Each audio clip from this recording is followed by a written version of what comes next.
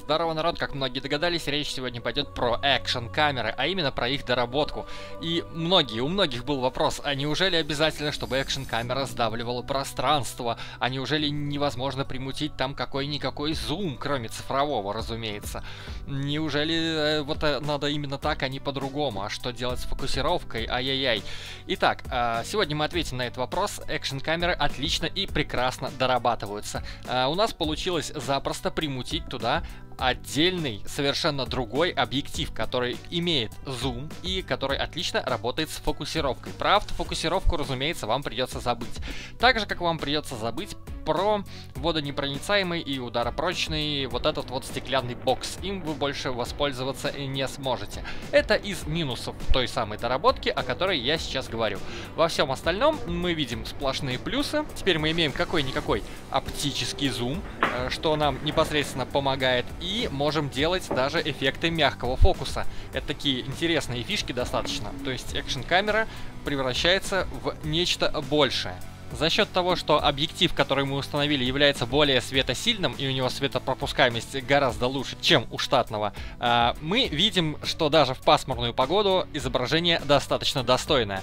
И пусть вас не отвлекает немножечко сбоку э, нечистоты на объективе, я забыл его почистить перед тем, как пошел тестировать и снимать, пусть это не отвлекает вас от главной сути. А суть в том, что мы можем как оставить теперь э, то самое, тот самый большой угол, когда камера сдавливает пространство, вы как раз сейчас видите. Можем еще играть и с фокусом.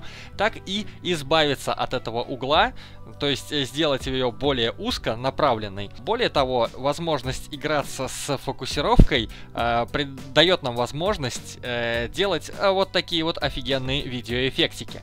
Вот. И опять же, пусть вас не отвлекает люминесцентная подсветка, потому что камера 60 Гц снимает 60 кадров в секунду и небольшие мерцания все-таки видны.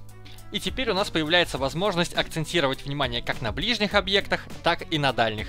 Просто играя фокусом, размывая либо те, либо другие. А это уже очень круто. Мало кто умеет такое делать, вооруженный всего лишь обычной экшн-камерой дорого ли стоит такая доработка? Да ну нет, на самом деле э, сам по себе объектив стоит э, что-то в районе 600 рублей. Подробнее обо всех этих доработках вы можете всегда узнать в нашей группе ВКонтакте, которая называется Плаза Псков. Поэтому не стесняемся, вступаем, спрашиваем, а вам обязательно ответят. Трудно ли поменять? Да, есть небольшая сложность, штатный объектив, как ни странно, заклеен внутри. Вот, но тем не менее, приложив э, руки, вы можете запросто сделать то же самое.